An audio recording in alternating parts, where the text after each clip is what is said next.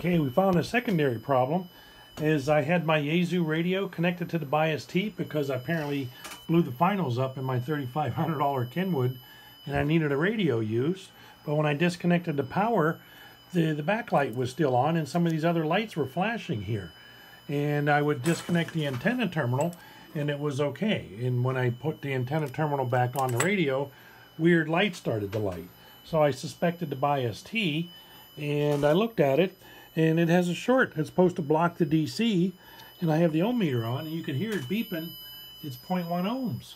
It's got a dead short somewhere. So I open it up I'm looking I can't really see but it is definitely shorted uh, unless the capacitors are shorted.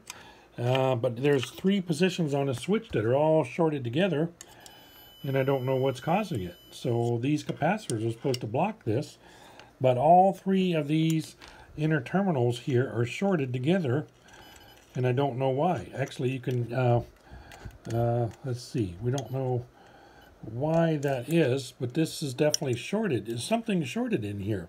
So I guess I'm going to have to open this up to see what the problem is. This is really unfortunate. And it's possible that feeding that 12 volts down there uh, somehow could have destroyed the finals or something on the the uh, front end of this radio. I don't know, but we will see.